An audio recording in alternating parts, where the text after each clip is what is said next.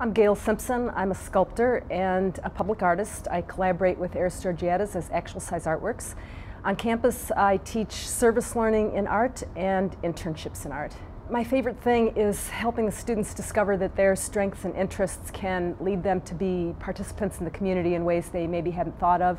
Uh, through the service learning and art class, we're partnered with um, 8 to 10 community organizations and it gives students a, a chance to work off campus and um, find other ways to interact with Madison.